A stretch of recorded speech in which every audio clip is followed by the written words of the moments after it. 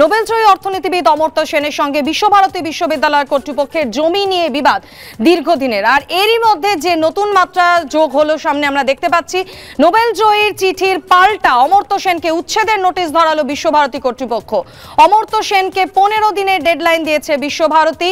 যেমনটা জানা যাচ্ছে যে প্রতিটি খালি করতে হবে পনেরো দিনের মধ্যে। লিজ বাতিলের সিদ্ধান্ত নেওয়া হয়েছে বিশ্বভারতী কর্তৃপক্ষের তরফ থেকে, এমনটাই জানা যাচ্ছে এবং বিশ্ববিদ্যালয় কর্তৃপক্ষের তরফে এমনটাও জানানো হয়েছে যে প্রয়োজনে বল প্রয়োগের হুঁশিয়ারিও দেওয়া হয়েছে তাদের তরফ থেকে। আমরা জানি, জমি নিয়ে বিশ্বভারতী বিশ্ববিদ্যালয়ে এবং নোবেলজয়ী অর্থনীতিবিদ অমর্ত্য সেনের সংঘাত দীর্ঘদিন ধরেই চলছে। আর সেই সংঘাতে এবার নতুন মাত্রা পেল আপনাদের জানিয়ে রাখি। নোবেল নোবেলজয়ীর চিঠির পাল্টা, যেমনটা জানা যাচ্ছে, অমর্ত্য সেনকে এই বিশ্বভারতী কর্তৃপক্ষের তরফ থেকে উচ্ছেদের নোটিশ পাঠানো হয়েছে, যেখানে বলানো হয়েছে যে অমর্ত্য সেনকে পনেরো দিনের ডেডলাইন দেওয়া হয়েছে এবং পনেরো দিনের মধ্যে প্রতিটি খালি করতে হবে। প্রয়োজনে বল প্রয়োগের হুঁশিয়ারি দেওয়া হয়েছে বিশ্ববিদ্যালয় কর্তৃপক্ষের তরফ থেকে।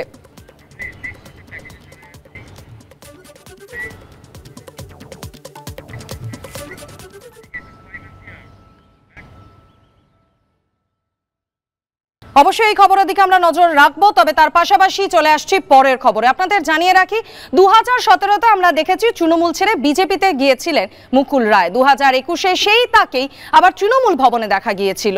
আর এবার দিল্লি গিয়ে বিজেপিতে যোগ দেবেন বলে জানালেন মুকুল রায়। আর এই প্রসঙ্গেই তৃণমূল বিধায়ক মদন মিত্র কটাক্ষ ছুড়ে দিয়েছেন।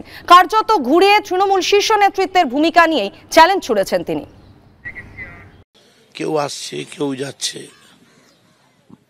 কীরকম একটা রেস্টুরেন্টের মতো হয়ে যাচ্ছে। এটা আমার খারাপ লাগছে মানে কেউ এলো ঢুকলো এই চারটে ফিস চপ দাও দুটো কবিরাজি খেলাম পয়সা দিলাম বা না দিলাম এই চল পাশের দোকানে চল। এটা তৃণমূল কংগ্রেস নয়। কে কখন কার সঙ্গে কার সঙ্গে কার আঁতাত কে কখন কোন দলে বুঝে ওঠা দায়। যে তৃণমূলে আপনি যোগ দিয়ে বলছেন কি সব তখন মানে অন্য একটা কারণে চলে গেছিলেন এখন সেই তৃণমূলকে দেখে কেমন দেখছেন আপনি? তৃণমূল আর সেই জায়গায় নেই। তৃণমূল যে কাজকর্মগুলো করছে সেগুলো নিশ্চয়ই বাংলার পক্ষে ভালো নয়। কৃষ্ণমন্ডল জেলে আছেন তিহার জেলে তাই তো দেখলাম শুনলাম নাকি এ- জেলে ও জেলে। পার্থদা জেলে পার্থ চ্যাটার্জি জেলে আছে বিভিন্ন ভাবে আছে এই লোক মোটেই ভালো জিনিস নয়। তো এটা দায়িত্ব কার? মানে রেসপন্সিবিলিটি কে নেবে? এত বড় দুর্নীতি হলো? দেখুন শিক্ষা ঘোটালা হয়ে গেছে এত টাকার দুর্নীতি হয়েছে রিক্রুটমেন্ট স্ক্যাম আমরা প্রত্যেকেই অ্যাডাল্ট লোক। দায় দায়িত্ব কেউ নেবে না অ্যাডাল্ট লোক তার দায় দায়িত্ব কে নেবে? আর মুকুল রায় যখন হঠাৎ দিল্লি পৌঁছে বঙ্গ রাজনীতিতে ঝড় তুলেছেন তখন চাঁদি ফাটা গরমের মধ্যে দলের শীর্ষ নেতৃত্বকে একগুচ্ছ পরামর্শ এমনকি কার্যত চ্যালেঞ্জও ছুড়ে দিলেন মদন মিত্র। মুকুলকে যেভাবে নেওয়া হয়েছিল তাতে মনে হয়েছিল আমরা বোধহয় দিল্লির বিজেপির সিংহাসন দখল করলাম। বিজেপি পার্টি আমায় সাসপেন্ড করে শোকস করে আমি তার উত্তর দিতে প্রস্তুত। কিন্তু আজকে মুকুলের দেখানো পথে কাল তো আরও দশজন হাঁটবে। বলবে অ্যালজাইমা হয়েছিল? হাগিস পড়ছি। লুজ মোশন হয়ে যাচ্ছে। এখান থেকে দিল্লি অবধি হাগিস। দিল্লির পরেই বলছি কি? কি কথাটা বলেছে? আমি বিজেপির এমএলএ। আমার রক্ষণাবেক্ষণ, আমার দেখার, আমার থাকার দায়িত্ব নেওয়ার অধিকার এবং দায়িত্ব বিজেপির রয়েছে। আরও বলেছে আমি অমিত শাহের সঙ্গে দেখা করব আমি নাড্ডার সঙ্গে দেখা করব। এখানেই থামেননি মদন মিত্র।